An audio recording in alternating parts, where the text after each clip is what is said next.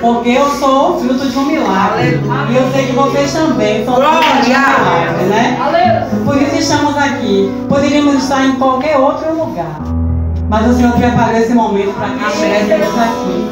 Uma noite fria, um pouco gostosinha, né? Para estar em casa. Mas Deus, Ele separou esse momento, essa noite.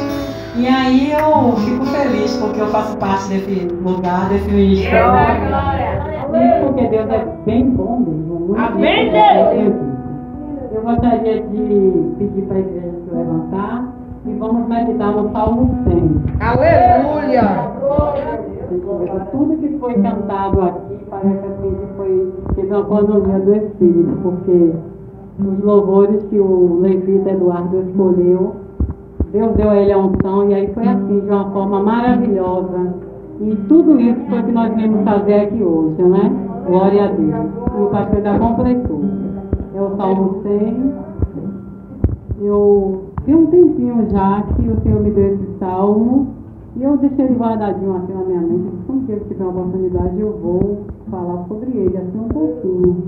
Então eu sei que todo mundo conhece. É. Aí depois me veio outro. Quando o pastor me deu a palavra, me veio outro. Já